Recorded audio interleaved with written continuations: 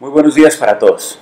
Hoy, desde la Rectoría, tenemos varios temas que queremos contarles. El primero es que según la organización Sapiens Research, este año, según nuestra calidad académica, nuestro programa internacional y la categoría según el ranking de pruebas saber, somos el mejor colegio del país.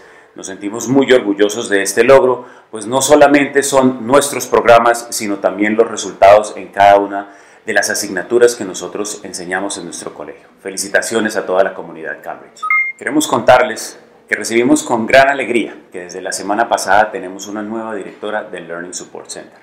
Liliana Cortés es psicóloga, magíster en pedagogía y durante los últimos 10 años se ha destacado por desarrollar su trabajo desde la neuropsicología en un contexto escolar.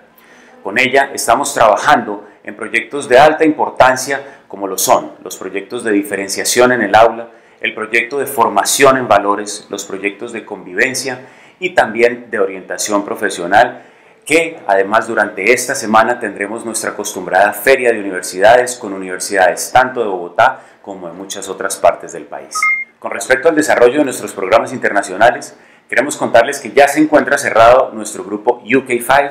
Durante esta semana les daremos más detalles a los padres de familia sobre el itinerario y los procesos posteriores a ellos. De la misma manera, el pasado 26 de marzo lanzamos nuestro programa Future Leaders para los estudiantes de octavo en adelante en un programa de desarrollo de habilidades de liderazgo a llevarse a cabo en la ciudad de Oxford. A todos los padres de familia interesados con hijos en estos grados, les pedimos acercarse a nosotros a solicitar más información si así lo desean. Y de la misma manera, tanto en nuestra página web como a través de Fidias y de correo electrónico estaremos enviando más información. No se pierdan de esta gran oportunidad para nuestros estudiantes de secundaria.